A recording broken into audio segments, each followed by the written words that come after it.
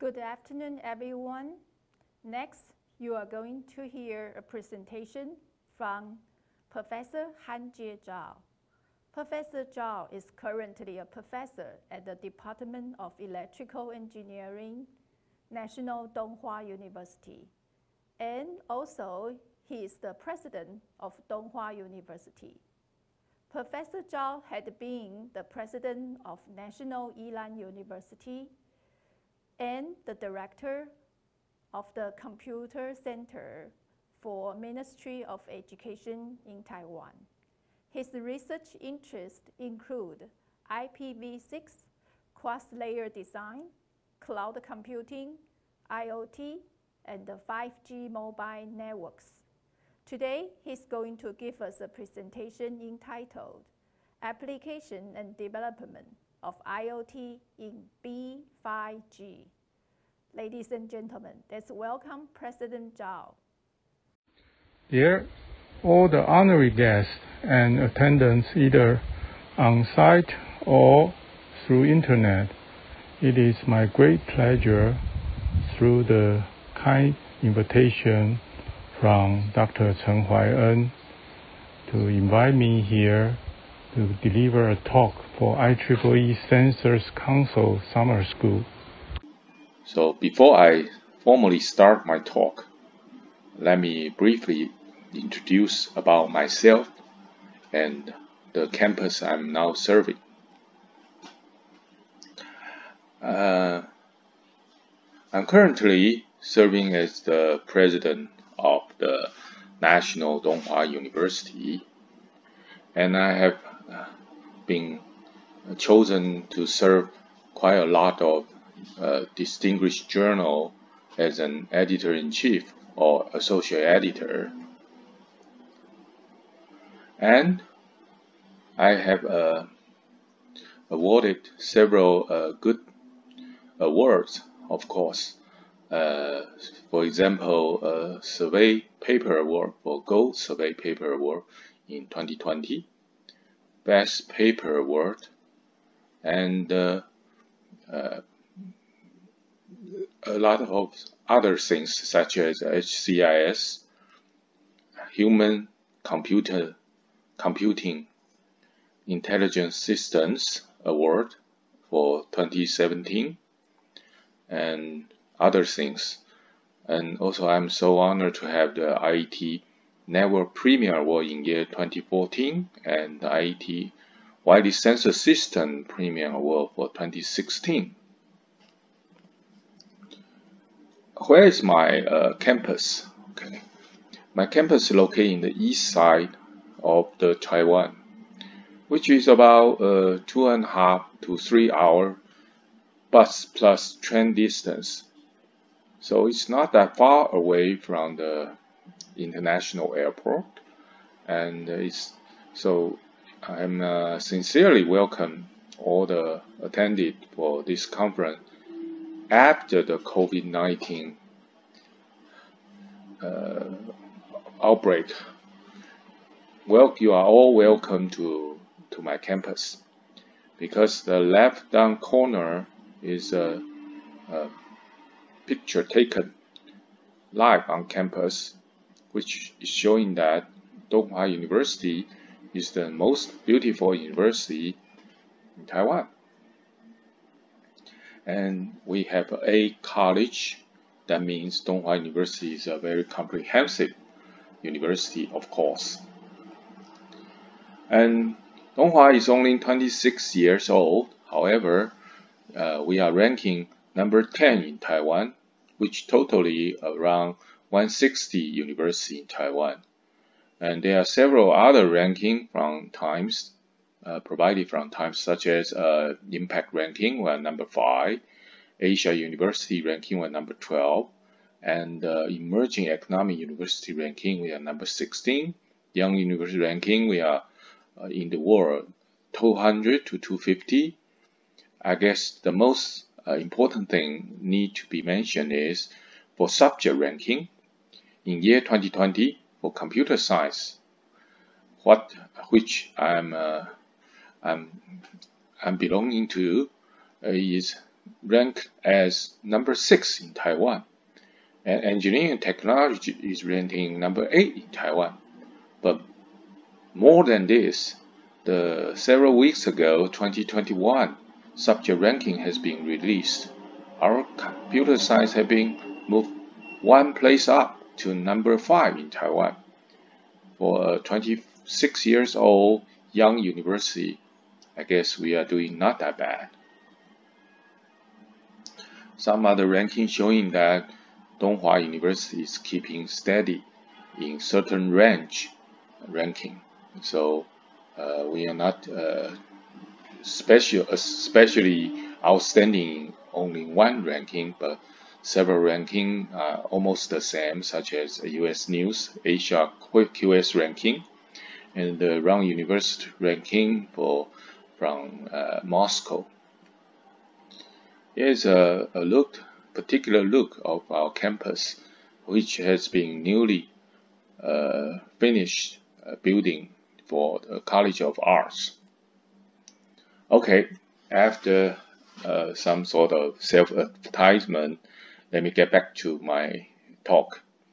Uh, here's the outline of my talk, and uh, uh I will skip uh, several parts, or I, I will uh, a little bit speedy on several part, part of the, my talk because I guess most of you are quite familiar with part of my talk. So I just roughly uh, bring you some ideas regarding the progress of what wireless communication currently have and but concentrate on the learning platform, deep learning platform for beyond 5G mobile network we had established uh, two years ago. Um, okay, let's start it. Yes, the wireless communication, and uh, as we always know, we are limited using those uh, spectrum. So whenever we need to upgrade from 3 to 3G to 4G, 4G to 5G, we have to squeeze the spectrum and try to uh, find out particular range of those spectrum for particular use. That's the reason why for 5G uh, the vendor, service provider, or the vendor trying to move a little bit up to the millimeter wave so that we can, in that particular range, can provide more spectrum for service provider to use. And what a coincidence, each generation the separation for each the time gap between each gener generation is about around 10 years but I'm certainly quite sure for the 6G or beyond 5G it will be less than it should be less than 10 years because I get United States trying to push you very hard to move to 6G, 6G as soon as possible.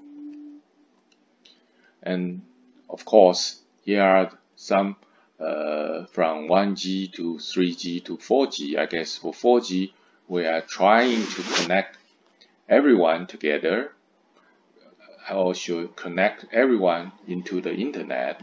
But for the 5G, we are trying to connect everything together.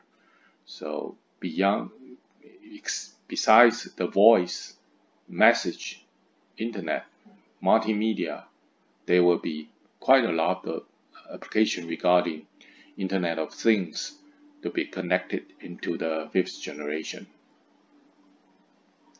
As predicted, uh, we always know uh, uh, the in year 2021 there will be more than 28 billion devices connected to the internet Within it, only 15 billion, oh, sorry, only 13 billion uh, belonging to mobile phone, PCS, those, those uh, traditional mobile devices.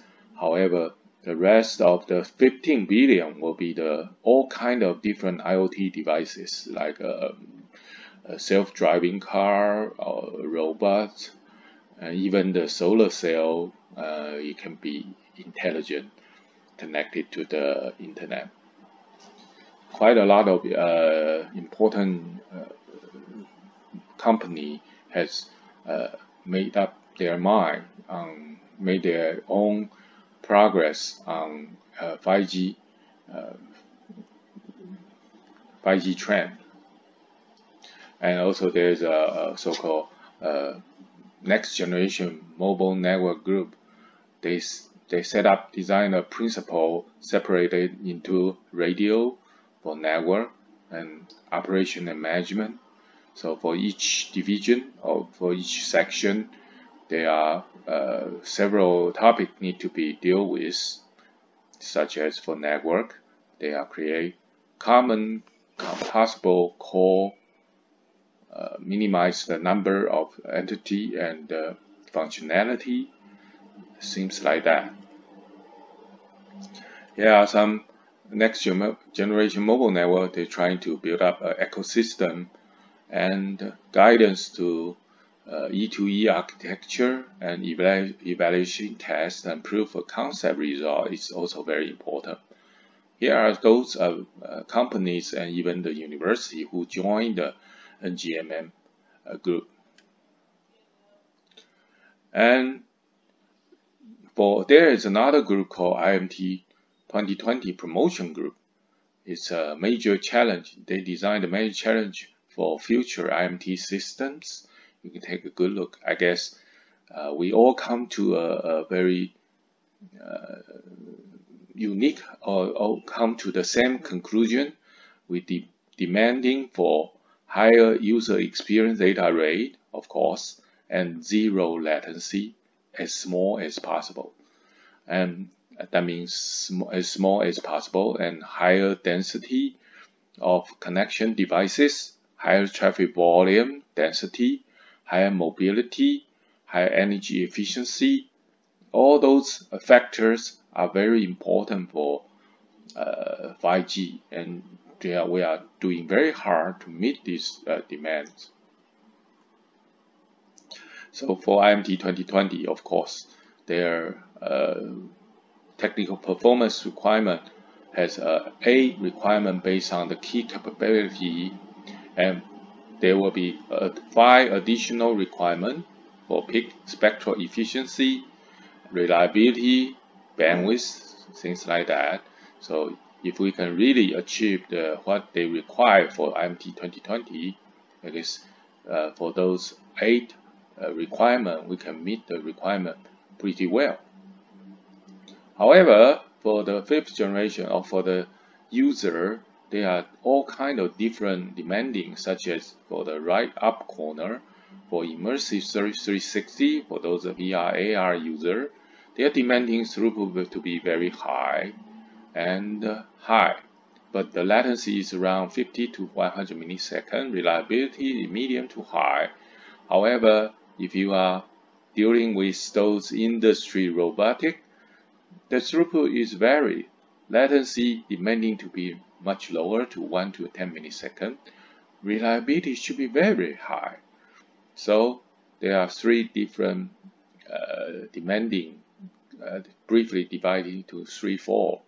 One is ultra reliable low latency connection, and the other, the second one, enhanced massive bandwidth mobile bandwidth requirement, and enhanced mobile uh, machine type connection.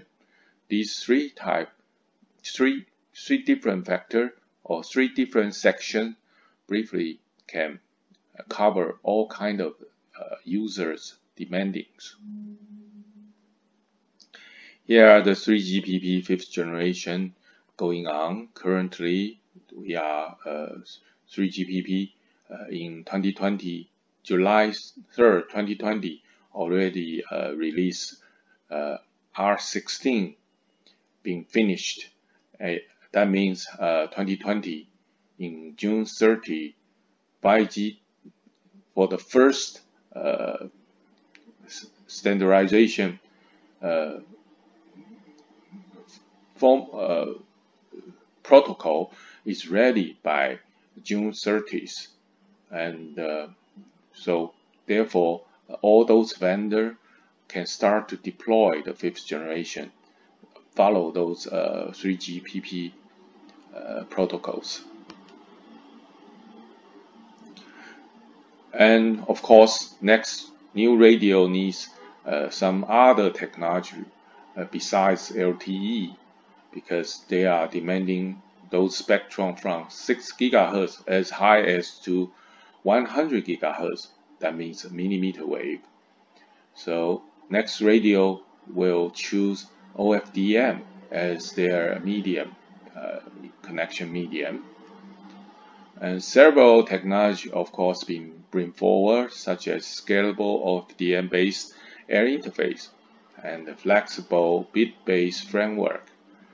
And in August uh, 2016, 3GPP has agreed to using CP-OFDM as the 5G new radio uplink downlink uh, waveform, the main waveform.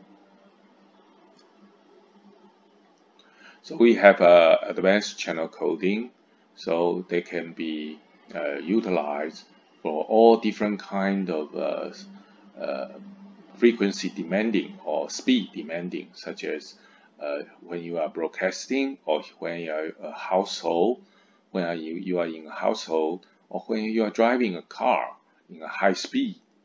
So that's uh, another is uh, MIMO. Okay, MIMO you can uh, using uh, quite a lot of uh, antenna to using beam focus, uh, so you can uh, effectively uh, reduce the delay and using and low down the expense, of course. And you can using the mobile millimeter wave and beamforming, beam tracking enable wide millimeter wave bandwidth for extreme capacity and throughput of course. Several functions have been introduced, such as authentic server function AUSF and uh, access and mobility management function AMF and the data network DN and, and structured data storage function UDSF, network exposure function NEF, network repository function NRF, network slice selection function NSS4F, and the policy control function PCF, and so on and so forth. There are quite a lot of new functions being introduced. So that's based on the 3GPP TS23.501. It's the system structure, including those uh, all those network functions. And based on the Release 16, we are using a 5G new radio and licensed spectrum will be using along with licensed spectrum. So, so that uh, that means we are trying to use every bit available spectrum. In the 4G 3GPP release 12, uh, formally define LTE-U to that means LTE-unlicensed. and. So for the uh, 5G, uh, is follow those uh, release 16 and being improvised or being enhanced in release 14. And therefore, we have uh, bring those uh, into so-called LAA technology. It will be even better than LTE-U Release 16 has several uh, features to improve the MIMO uh, efficiency and functions, such as enhancing the multi-user MIMO to support higher ranks and supporting multiple transmission and uh, reception point and better multi-beam management, improving reference signal to reduce peak to average power ratio, and extending uplink coverage, things like that. So in order to uh, broaden our application, or such as uh, using our being used in the factory automation, with demanding the extra reliable, extra low latency, such as URLLC. For this kind of requirement, Release 16 also include the so-called supporting 99.9999% reliability upgrade and uh, at the same time trying to maintain millisecond latency. So trying to renew the E-URLLC can do something like that by using uh, coordinate multi-point COMP communication and uh, spatial diversity and uh, channel polarization and those kind of technology being introduced. So the increased redundancy and more reliable, flexible scheduling can be expected. Since 5G is going to be using millimeter wave, of course, we are expected it will be even more power consuming than before. Therefore, power efficiency will be a very important issue here. Release 16 will bring in several uh, power saving function features such as wake up signal and so that your devices can beforehand know how when to stop the transmission and when into go into the low power consumption mode or jump to the next discontinuous reception uh, mode. So we can uh, save the power and uh, at the same time the those features are trying to also enhance the mobility handoff um, so that you can predict your handoff uh, function. So that when you're doing those uh, handoffing or handover, you can reducing your uh, interruption time and uh, by using those conditional handover or uh, those uh, report beforehand and then for uh, master cell group area coverage uh, technology can be used as as long as uh, we are doing the handoff. And Release 16 also trying to expand the 5G network coverage. So, and extended the public uh, networking coverage uh, supporting. And that's the uh, another major feature of fifth generation. That means we are going to provide a massive connection for Internet of Things. Uh, it's very, very useful when you are trying to deploy IoT. So Release 16 can also uh, provide those time-sensitive networking uh, into, into uh, to meet their requirements uh, in order to uh, merge those time-sensitive Uh, networking stuff. Uh, we are going to do our best try and minimize the uh, those wireless connection random radio access network the, what their influence regarding uh, those uh, time-sensitive network or time-sensitive demanding. So therefore, we can have a time-determinist packet delivered. So also, Release 16 provide those new interference uh, measurement technology. A uh, very stable deployment will be established and the base station to the end user devices interference will be mitigation and time division duplex uh, will be even more easily achieved. And Release 16 also including some sort of 500 megahertz unlicensed spectrum downlink using for and uh, 100 megahertz uplink upward using uh, that kind of connection uh, requirement. And that so before then uh, this kind of connection has already been provided for uh, vehicle to everything, okay, communication vehicle to everything for safety purpose. And Relay 16 using those network new radio uh, as a basic to provide uh, coordinate driving and uh, uh such as uh, we can using the multicast communication and on the fly multicast group and also at the same time distributed synchronization for uh, QX, QoS purpose. Uh, for those uh, technology being introduced, new kind of feature can improve self-driving car, the safety and efficiency of the safe driving car. So here are the brief summary regarding uh, what we are demands for fifth generation. I guess everyone should be very familiar with that already. And uh, I have to mention that this paper has been cited more than 250 times. So if you are very interested on fifth generation, you should take a good look of this paper, the 10 key enabling technology for fifth generation.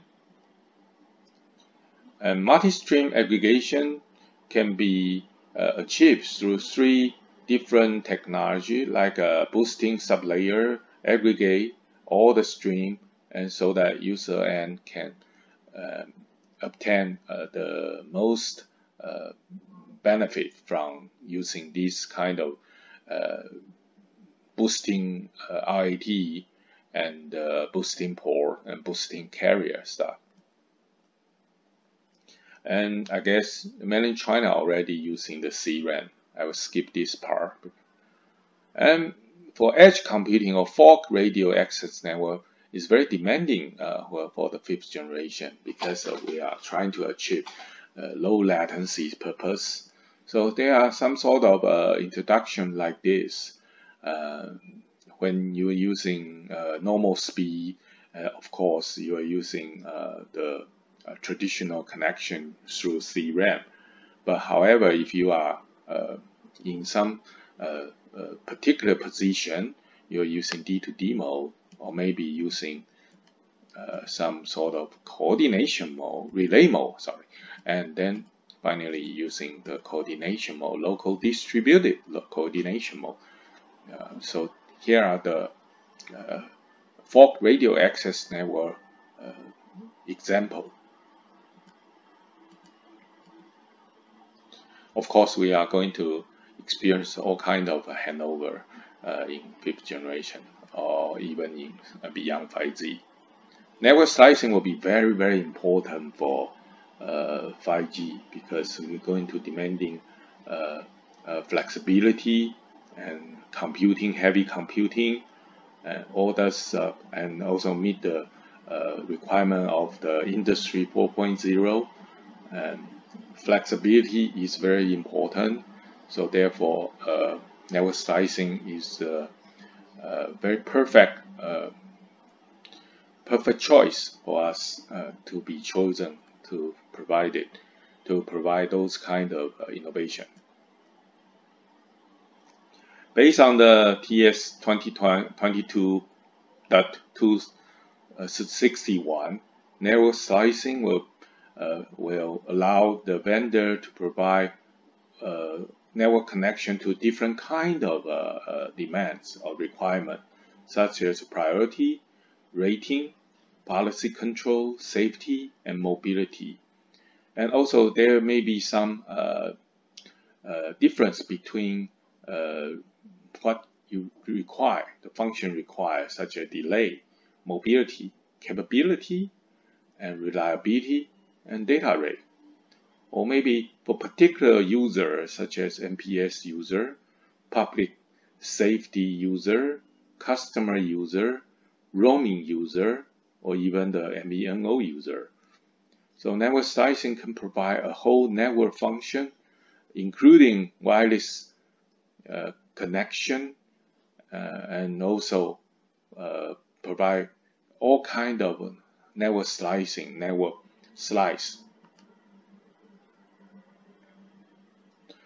Because uh, fifth generation going used to use a high spectrum, So the coverage range will be smaller than 4G. Uh, therefore, the base station, the total number of base station 5G will be uh, much, much more than before.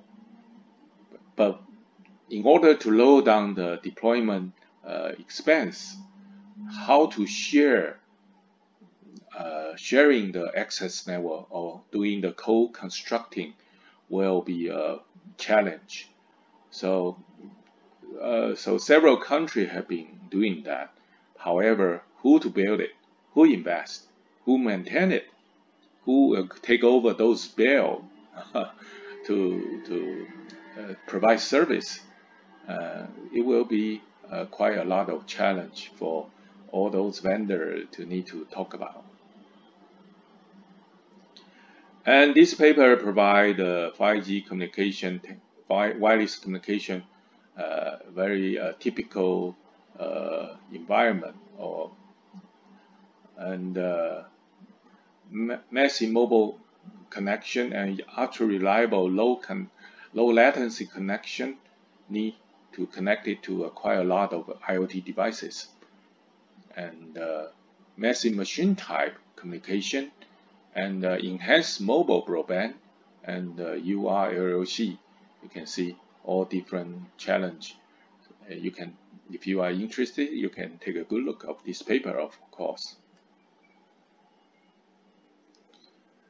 5G America, the white paper also point out that there are three different direction for home to home, home to machine, but I'm sorry, human to human, human to machine, machine to machine, different using.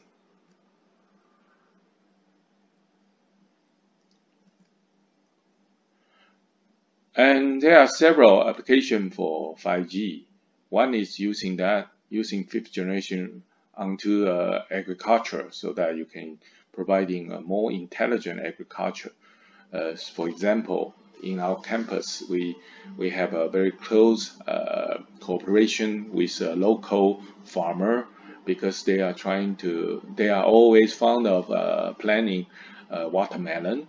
However, it's really very tedious and very time consuming, and also uh, manpower consuming to trying to figure out how many watermelon totally we have because whenever you are trying to sell it you, you should have a rough number uh, totally how many watermelons.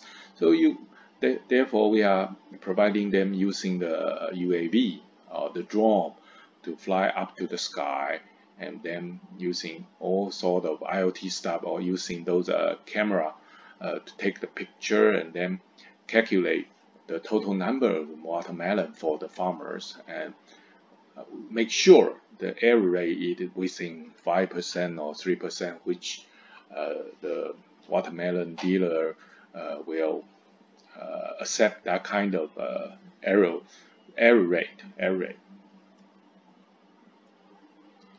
And this is a 5G tele-operated driving with Huawei. 5G is coming for a super connected world. The car industry is one of the first verticals to take advantage of cutting edge 5G solution for improving road safety. Huawei is spending.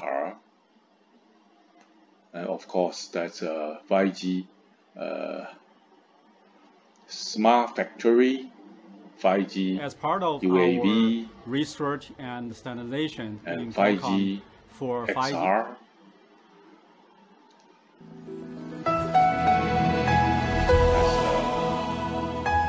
World's first drone.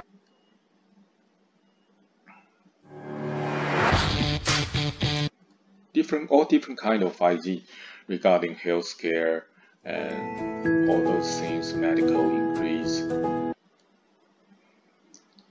been using quite a lot. Now I'm trying to uh, bring you a rough idea for why we're going to move to 6G because to be honest, uh, 4G is quite enough. Okay, we can take a look of uh, high uh, resolution uh, film such as 4K easily using 4G already, and uh, almost we can connect to everyone, everywhere, anytime. However, we all still demanding uh, for sixth generation uh, what really want because when those AR, VR, virtual reality, augmented reality, and intelligent self-driving car is, are so popular, therefore quite a lot of data uh, transmission and storage being generated.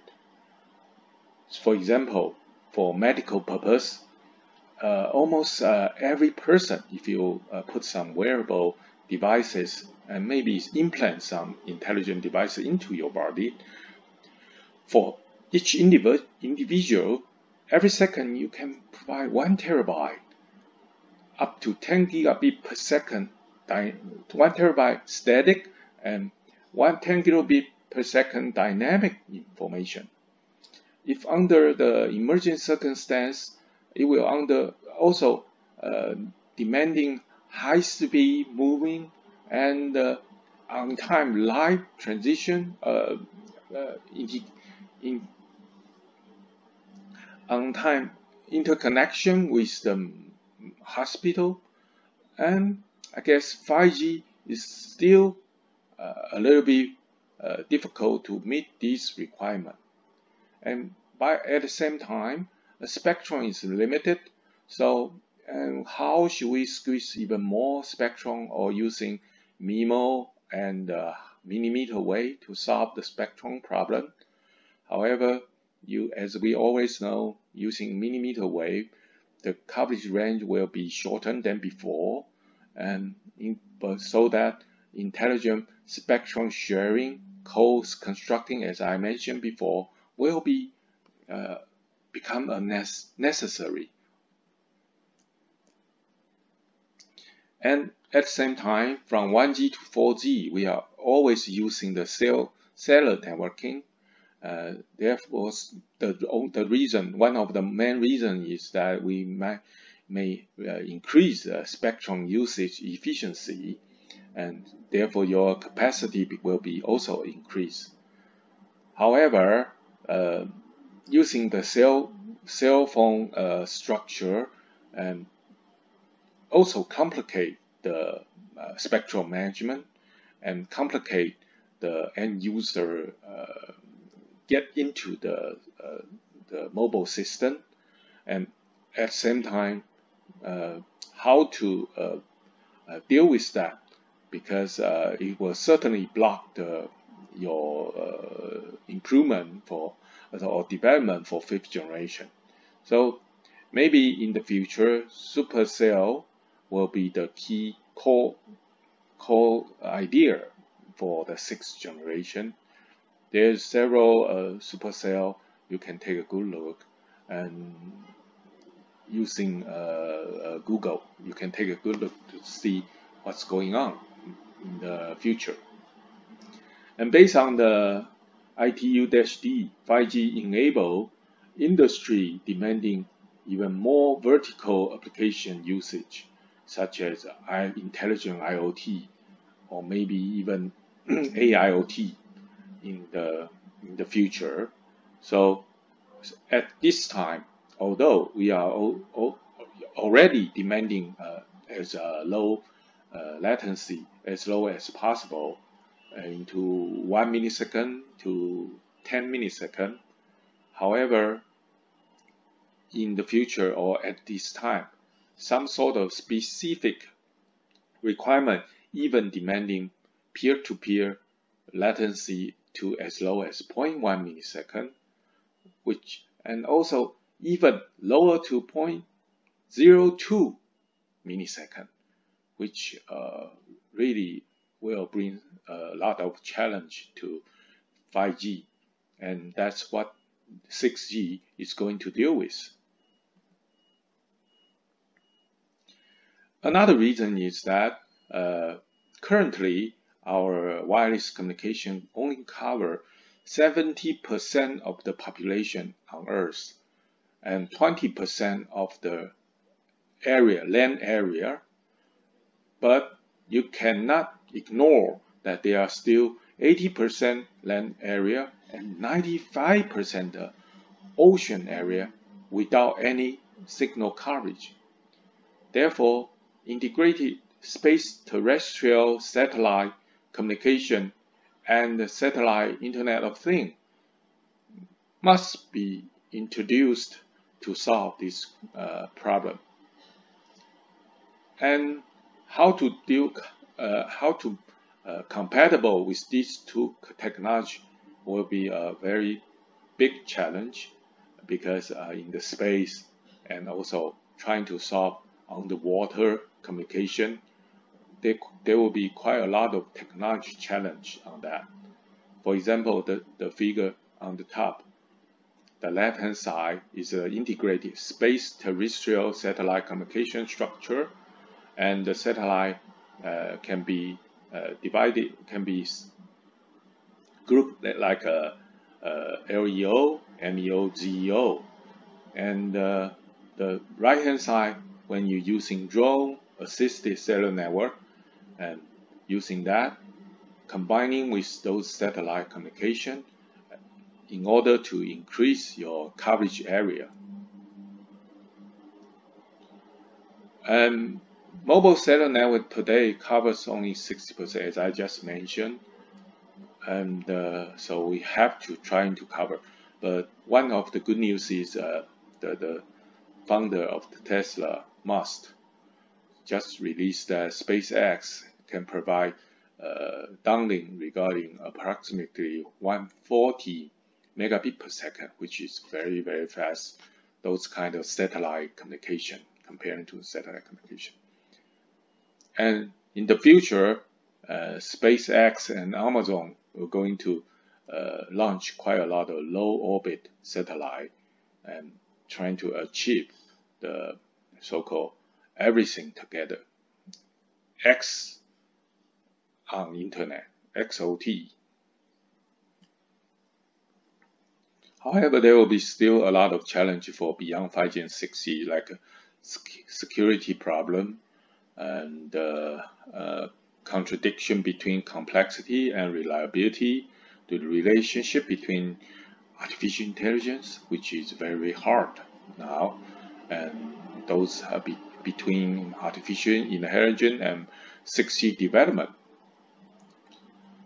Now, development IoT, I will go through it very quick. Okay, the first uh, IoT have been introduced in year 1974. What's that? It's a, a ATM machine, right? In 2015, already those kind of devices being increased 233 percent, and they, we are expecting in the no not expecting in the end of this year will be even more than uh, 250 uh, devices uh, being introduced. Uh, so quite a lot of uh, IoT devices will be uh, will be implemented, such as a water meter, electricity meter, gas meter, things like that. So in order for that kind of purpose, one of the 5G fifth generation user case is a massive device connection.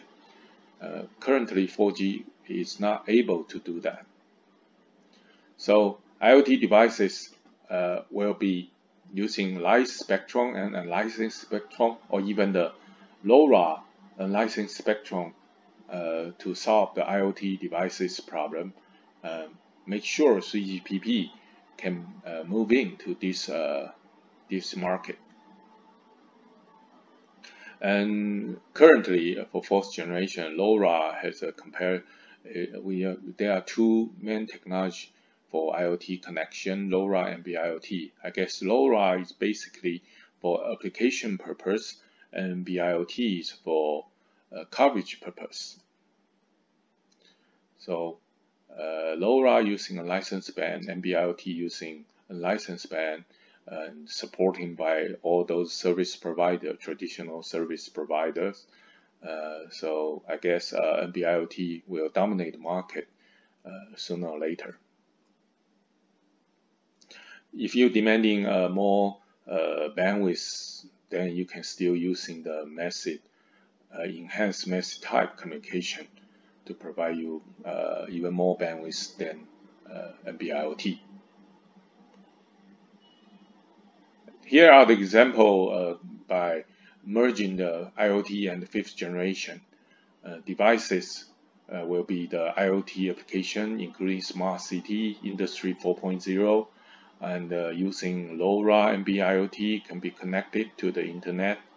And there will be a lot of platform and infrastructure to collect those information uh, gathered by those IoT.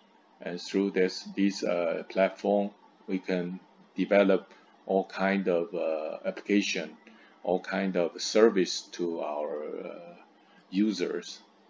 And smart city, I guess everyone should be very familiar with that. I will skip that, skip that, skip that too. And smart healthcare, uh, I guess uh, health plus big data platform uh, with uh, help of the artificial intelligence. A lot of people may get jobless uh, in the future because they are considering a lawyer, doctor, the can be replaced by those uh, artificial intelligence.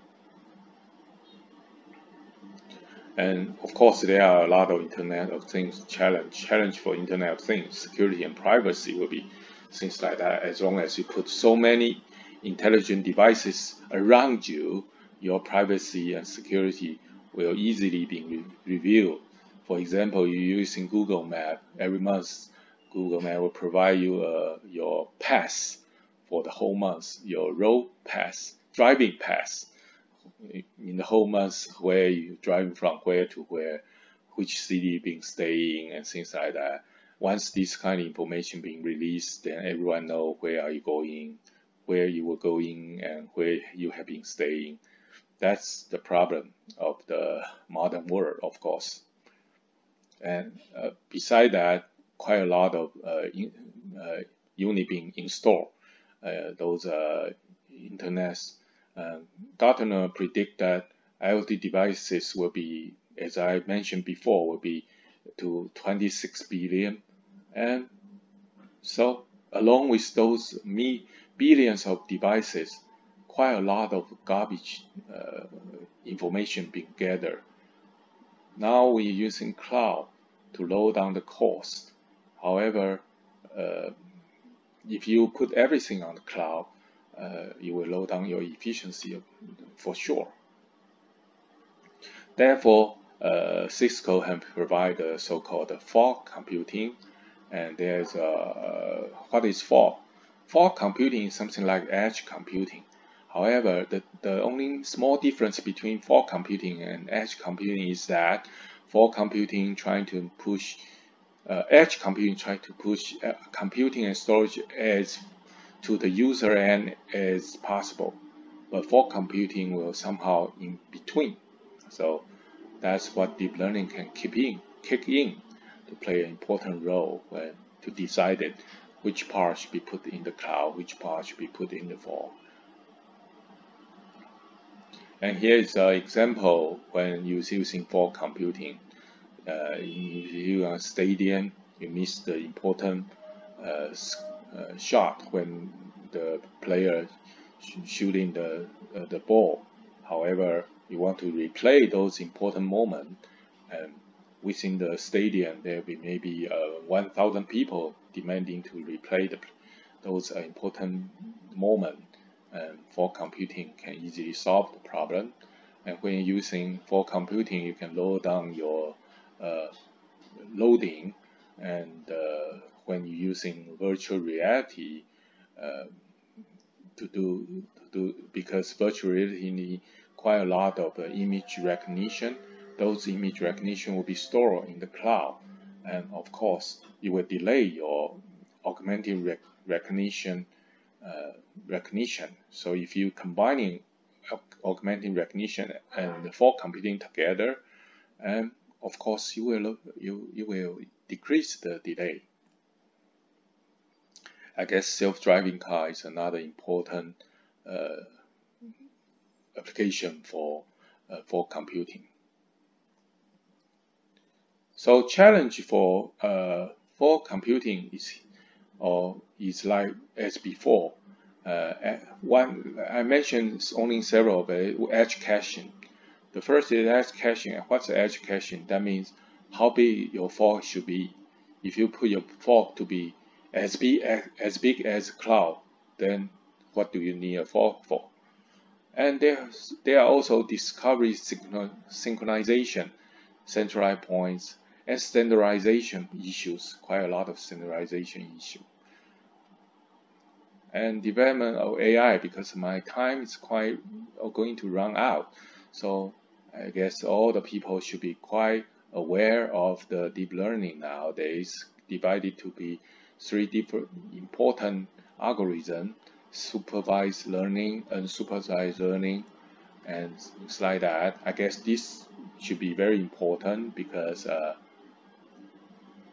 uh, it, it combine all different uh, topic for network uh, in mapping to uh, some specific uh, deep learning method, such as access point selection, it will be considered as a supervised learning. D2D communication will be considered as a uh, unsupervised learning, things like that. And also, there are quite a lot of different algorithms uh, belonging to three different learning stuff. You can take a good look. Okay, here is the deep learning platform we've been built for the past three years. And the first year we are trying to de deployment of deep learning platform. And the second year we implement, implement all kinds of network function I mentioned in the early of this, this speech. And finally, for this year, we're trying to finalize to provide a self-organization deep learning platform As you can take a look, good look, uh, when we de deploy the deep learning platform, we, we separate into the B5G access layer. This uh, layer we've been built already, and then we're trying to build a core network layer because the uh, the B5G access layer belong to the the first three years, uh, eight seven years ago, the project seven years ago. So, and then lately, recently, we are going to, uh, or two years ago, starting from two years ago, we're trying to uh, install the core network layer and deep learning, deep learning service centers. As you can see, this is the process of deep learning platform. It divided into data processing platform and data training platform. Data, uh, sorry, data pre-processing platform. The, the main function for data pre-processing platform uh, trying to uh, divide uh, to analyze the data and trying to set up the model. Data training platform in trying to do the deep learning calculation. And so information will be goes through the edge server to do the data pre-processing and this kind of edge server can be uh, co-located with the base station so that can provide, uh, because base station can provide uh, limited computing resources, such as uh, you're using your cell phone, notebook, uh, PDA, things like that. And through those uh, fog computing uh, technology or function, so we can avoid all the information coming from or going to the cloud you will use up quite a lot of your traffic. And after those uh, pre-processing, this information will be uploaded to the cloud server. Cloud server will depend on different kind of uh, network requirement uh, using different kind of deep learning method um, to do the model training. After the training, model will be sent back to the base station, prepared to be used in the future.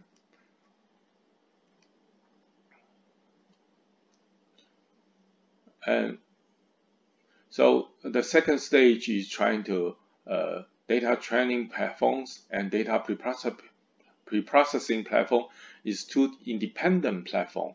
And in order to make them to be uh, do those automatic deep learning process, we have to uh, to couple these two platforms together. And so after beyond 5G platform can use those model directly and how to make sure they to be local maximized and how to uh, increase the deep learning efficiency. Um, so we are um, also how to improve those work functions such as fog management and uh, traffic classification for security and core network and mobility management and edge computing, hotspot management, things like that will be uh, these functions will can be uh, using uh, to enhance your deep learning process.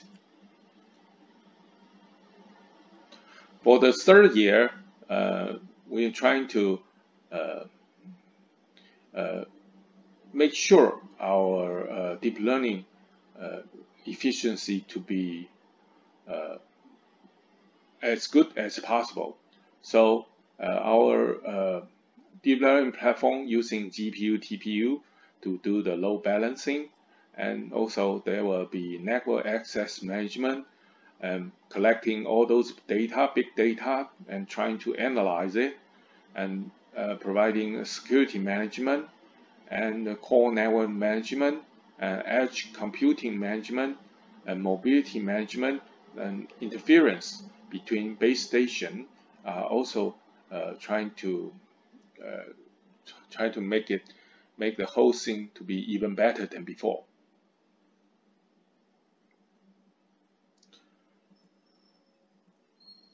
Here are the self-organizing deep learning platform and providing all those uh, uh, network function as I mentioned. And here are the platform we've been built. Okay, uh, according to the network structure, we have a CRAN and using user N, using a SIM com SIM card, and the station uh, using a Huawei uh, use cell phone and because we are using uh, the so-called physical my administration function, we can easily uh, change the registration information on the SIM card. So whenever uh, eNodeB connected uh, with the evolve packet core, um, they will automatically get into the uh, home subscriber and uh, trying to see whether there's a uh, the, the information is correct or not. Uh, if they cannot find the same information, we will reject the connection. And here are some uh, integrate edge computing and cloud computing together, and you can see that uh, easily see that.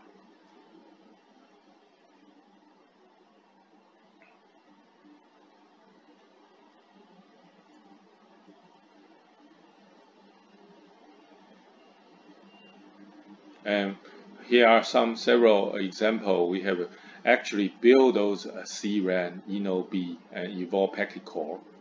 And these are those uh, picture regarding all those stuff. Live picture we've been built.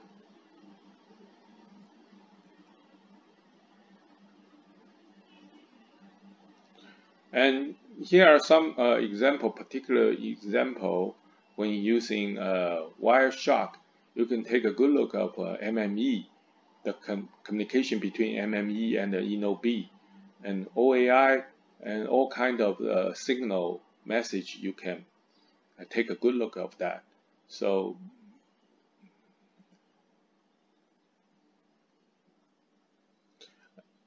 and OAI will gather those radio frequency like a receive signal and channel frequency response and uh, the so-called uh, physical uplink control channel and physical uplink share channel, those information uh, will be uh, recorded. And by by looking at those information and those, uh, you can take a good look of signal strength, signal strength, and and the so-called channel quality indication to see the uh, signal quality and therefore base station can assign, allocate the resource block, the, the better resource block, so you can get a, better transmission efficiency.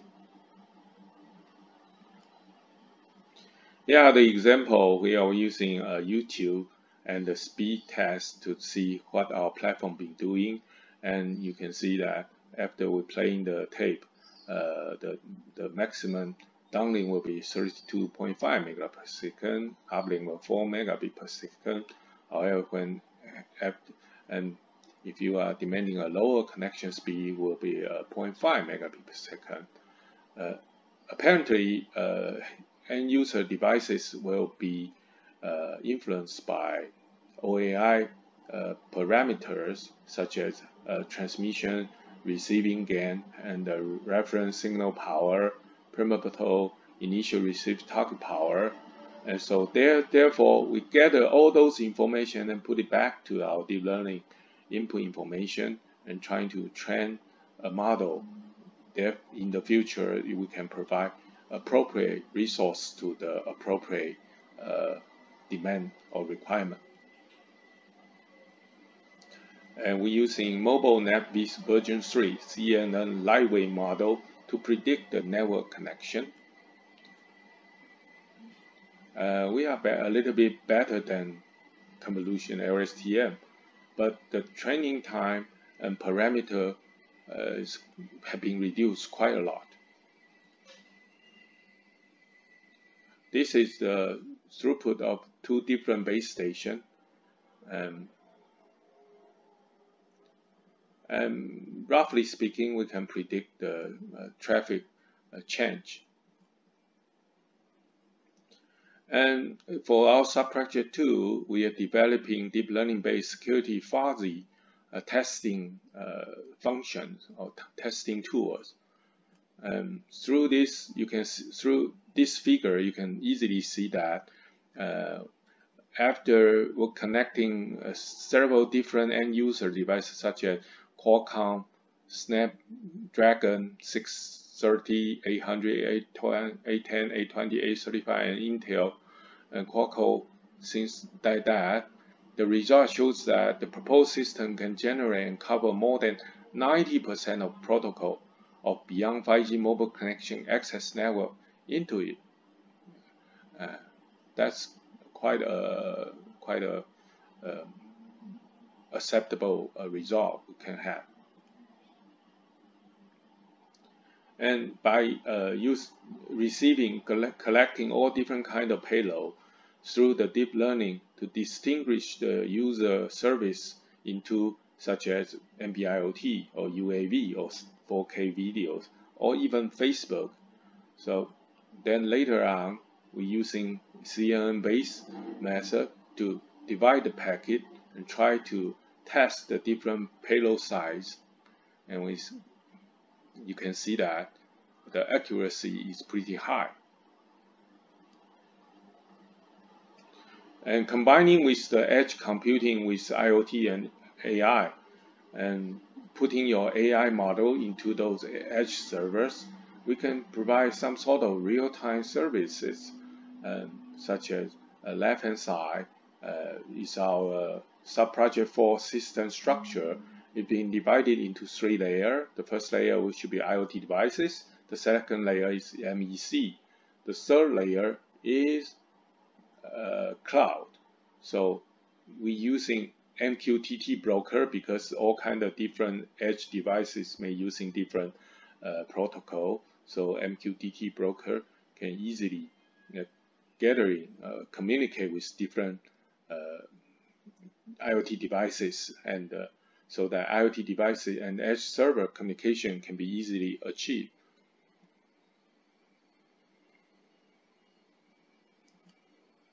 As you can see from the, this diagram. And interference between base stations is quite important for uh, beyond 5G or 5, 5G beyond 5G. so building interference into terrain, terrain interference and large obstacle interference by using CNN model to do the base station deployment. Try to avoid those interference, be, interference beforehand. Okay, uh, here's my conclusion. The edge computing is very important for even 5G and beyond 5G. And different network use have appropriate deep learning algorithm. Integrate edge computing and cloud computing is expected to provide greater performance efficiency for beyond 5G platform. And there are many applications can be implemented on beyond 5G platform, which based on edge computing and AI, such as security management, interference management, access point selection, mobility management, and so on and so forth. Okay, then there's uh, there's about all I'm going to talk, and five minutes about my time. And again, Dong Hwa University is only 26 years old, but we are standing firm and trying to make sure our campus is to be globalization. And thanks for listening. And hopefully I can see you all on campus or even better, I can see you see you in the world in in a couple months. After a couple months, the pandemic is really hurting us. Uh, I've been uh, house arrest or been ground for exactly one year till December 30th. So I'm looking forward to seeing you all in the world soon. Thank you so much. Bye now.